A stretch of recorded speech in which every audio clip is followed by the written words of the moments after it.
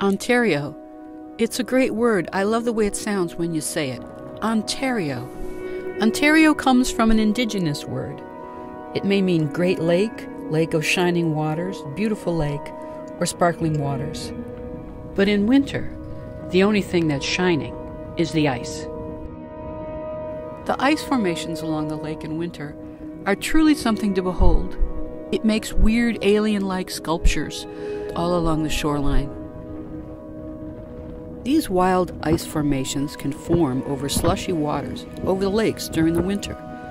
As chunks of ice collide, they form elevated, rounded shapes that look like donuts. They're very cool, and I love the way they undulate as the waves come in and out. Lake Ontario, one of the five Great Lakes, was formed 11,000 years ago, and at its deepest is 800 feet deep. It has only frozen over at least five times, the last time in 1934. If you're not shy about braving the cold, it really is an otherworldly landscape. About 50 people have swum across the lake. If that doesn't make you feel inadequate, this will.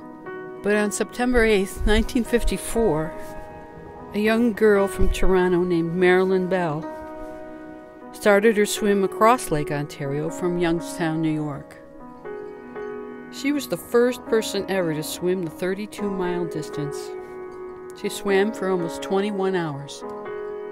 She was a national hero in 1954. Thousands waited on the shoreline for her to finish.